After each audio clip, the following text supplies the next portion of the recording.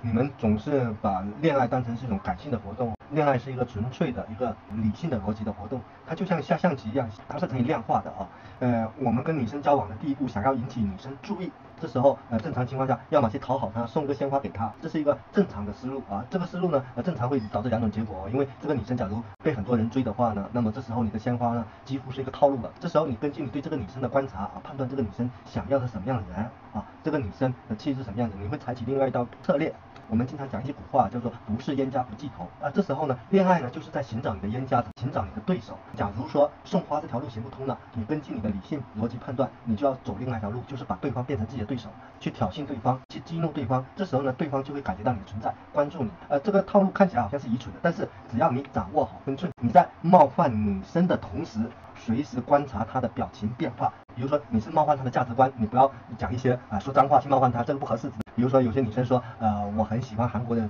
某个明星，然后你这时候呢，你冒犯她一下啊，那个明星啊，我觉得挺一般的。但是你在冒犯她的同时，你要计算一下，之后呢，你换方式，你就告诉她这个明星啊，他的某部电影，呃，拍的不好，演技很差。你通过一些貌似科学的东西来告诉女生，你的这个观点不对，这是不是一个冒犯呢？是。但是呢，这个冒犯呢，恰恰能够让女生知道一点，你也了解这个啊韩国的啊这个明星，你也懂得这个韩国明星。然后虽然你提出了一些看法，这是个博弈的过程，在恋爱过程中，几乎每一步都是可以精准的算出来，你的话说到什么程度，然后对方会引起什么样的反应，会做出什么样的判断，这些都是几乎可以量化的。你的口气重一点，比如说你直接说啊，韩国的呃那个金秀贤完全就是个脑残粉，有谁他妈看他电影了？那我相信多数的女生自然会掉头就走了。但是假如你反过来说，金秀贤的电视剧啊，其实拍的啊有太啊俗套了啊，是一个很平常的啊，就是韩剧的套路啊，反而是他的呃另外一部电影《隐秘的时代》拍的特别好。那么这时候呢，女生就会觉得，哎，你有脑，你懂得欣赏我的明星，这些是不是可以计算的呢？完全可以计算。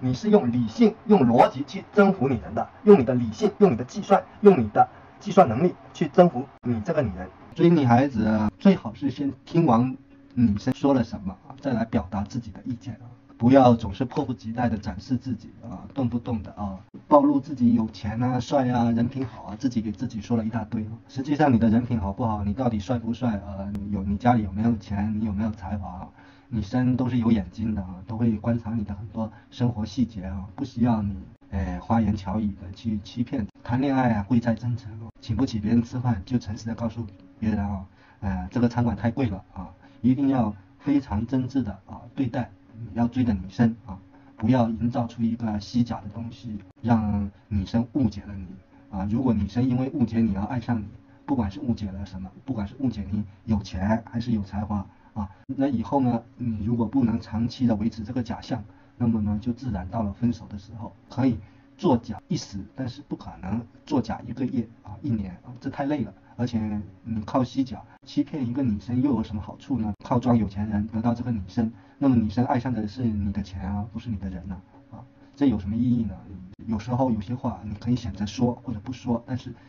不要欺骗啊，不要欺骗。女生问了一些你难以回答问题，你可以选择不回答，或者是跳过这个话题，但是不要打肿脸充胖子。很多。刚刚恋爱的男生呢，总是认为别的男人都是靠花言巧语骗到女生的，其实多数的男人都是靠真心诚意啊来赢得女生的爱。